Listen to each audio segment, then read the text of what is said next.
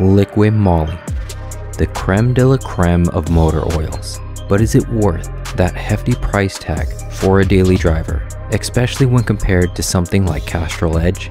In this video, we find out together. Let's get into it.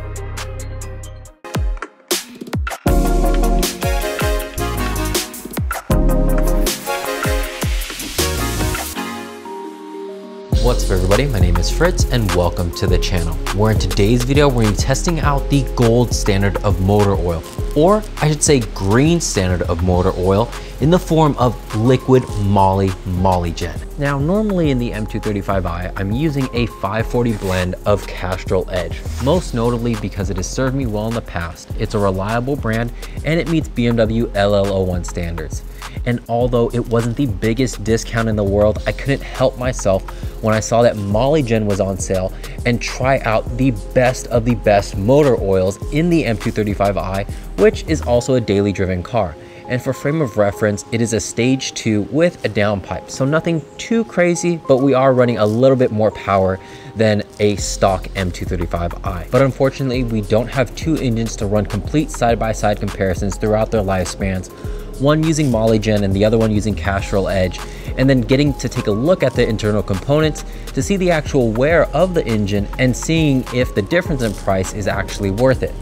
So we're gonna be taking it from the perspective of the daily driver. So we're gonna look at things like smoothness, sound, MPGs, as well as the metal shavings that come off the end of the magnetic drain plug. And the other interesting element about Molygen comes in the form of that green tint. And although it might seem really gimmicky, when you consider the fact that the N55 engine has common fail points like the valve cover gasket as well as the oil pan gasket, if you use Molygen and go over those areas with a black light, you'll be able to confirm whether or not that you actually have an oil leak in those areas. But in order to first do that, let's change out the oil. The oil change on the N55 is pretty simple and only takes about 20 minutes using jack stands.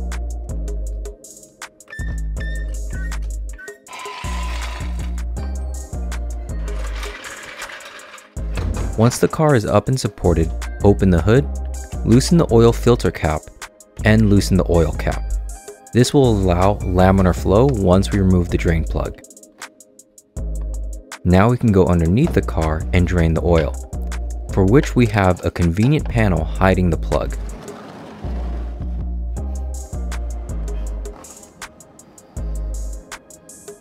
As you can see, we have some metal shavings from the Castrol blend. And I would have loved to compare this next go around, but this plug actually broke and I had to order another one. Good thing I still had the OEM one laying around. As we let the rest of the oil drain, let's prep the new filter and gaskets.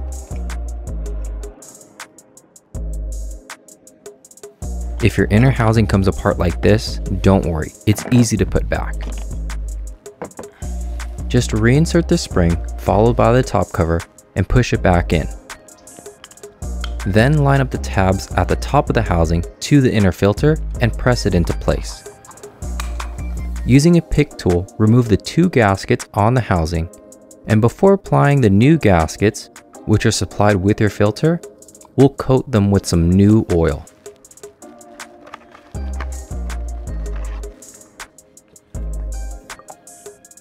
Points to Liqui Moly for this pour spout which will make adding in the oil much easier.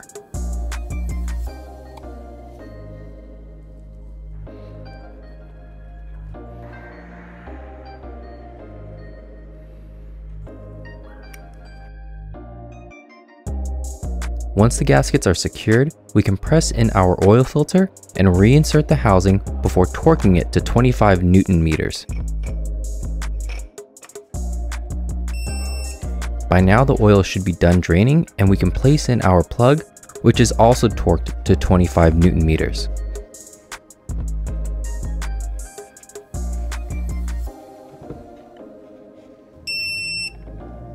At last, we can add in our 6.9 quarts of Liqui Moly.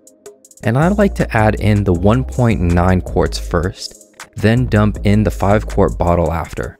And make sure to get every drop you can because we paid premium dollar for this. With the oil changed, start up the car, and check for leaks. If you want to, you can even use a black light in the areas where you suspect the leak because the Molygen will actually light up in the presence of a black light indicating that there is a leak or at least some oil spilled in the area. And then you can keep an eye on it from there. Once you've ensured that there are no leaks, go ahead and close it all up, lower the car and jump inside. By now the system should be warmed up enough to check the oil level, which takes about a minute and a half.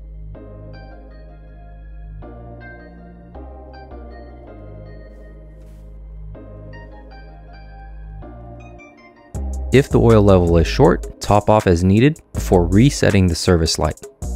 The service light can be accessed in accessory mode and by holding down the trip meter. Continue to hold down the button until your trip miles go from zero, then back to what they were before. And then it will go into your services. Single press to toggle through the menu until you get to your oil. It should say reset possible. If so, hold down the button until it asks you to confirm the reset, and then press and hold again to confirm. And you'll see a reset in progress message pop up. After the reset has been completed, double check it in the iDrive menu system.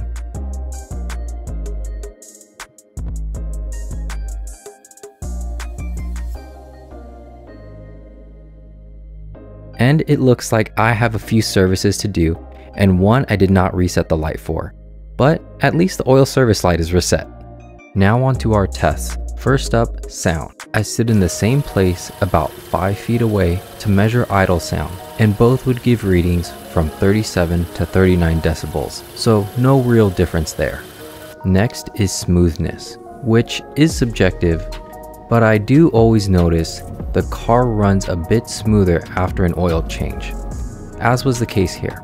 Unfortunately, I can't say if it was smoother than my normal oil change, but it's definitely within the range that I expect.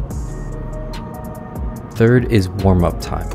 As expected, it took a little bit more time to warm up at about 4 minutes and 23 seconds on average. Depending on the day, that is 19 to 43 seconds longer than the previous batch of oil. It's also worth mentioning that the days leading up to the oil change were warmer than the days following the change. Our final test is what I was the most excited for, fuel economy, which ended up with similar results when compared to Castrol. Depending on traffic, I normally get about 230 to 260 miles before needing to fill up. And roughly that's an average of 19 to 21 miles per gallon. That is pretty much what I got during this one month long test.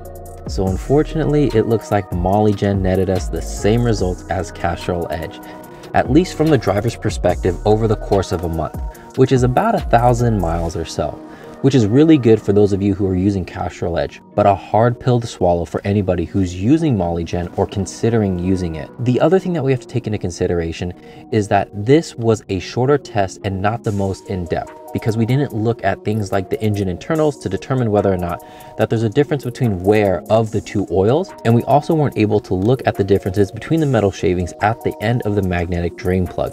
Another good point that was brought up to me is that my engine right now is saturated with Castrol Edge and all of its additives. But perhaps after a few cycles of Molygen and giving the engine a chance to soak up those additives, we'll notice a difference at that point in time. And if there is, I'll also post an update. And I'm very sorry that this video didn't show a dramatic difference between Castrol Edge and Molygen, but that's exactly why we do these tests. And if you have any additional questions, please leave it for me down in the comment section below. If you need any of the resources at all, it's going to be down in the description links. And don't forget to leave a like and subscribe so you don't miss out on future videos, and I'll see all of you in the next one.